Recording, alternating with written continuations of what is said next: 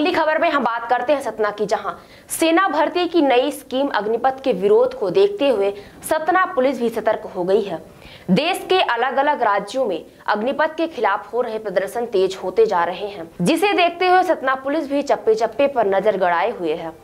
Police अधीक्षक के निर्देश पर रात्रि में पुलिस द्वारा रेलवे स्टेशन प्लेटफॉर्म में पैदल मार्च किया गया व यात्रियों से पूछताछ की गई। वहीं शहर में भी चौराहों पर सघन चेकिंग अभियान लगाया गया जिससे किसी भी अप्रिय घटना से बचा जा सके। विराट 24 के लिए सतना से संपत मिश्रा की रिपोर्ट।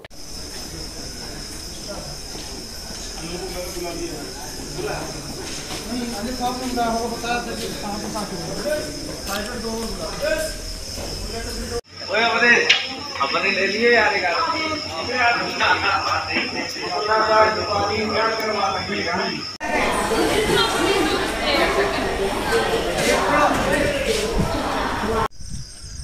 खड़ा करा लेगा।